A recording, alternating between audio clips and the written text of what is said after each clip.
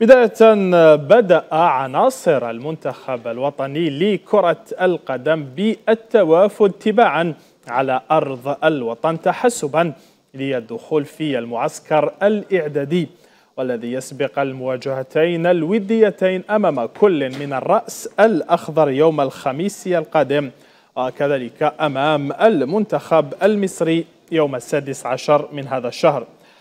كان على رأس الوافدين على مطار هواري بومدين الدولي محمد البشير بلومي لاعب فرنسي البرتغالي والذي سيسجل انضمامه إلى المنتخب الوطني لأول مرة. كما حل بأرض الوطن كل من عيسى موندي فارس شيبي كيفن جيتون وكذلك رميز زروقي.